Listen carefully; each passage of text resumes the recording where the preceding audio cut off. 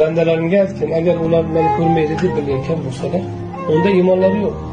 Agar ko'ryapti deb bilsalar odamlar ko'radigan joydan panaga o'tib gunoh qilayotgan bo'lsalar nimaga qarab turganlarni orasida eng qadrsizi mendan ular deb aytadi alloh subhanava taolo vahiy qilgan ekan shu ma'noni aytyaptilar shuning uchun odamni ko'zi ko'r qalb ko'zi ko'r bo'ladi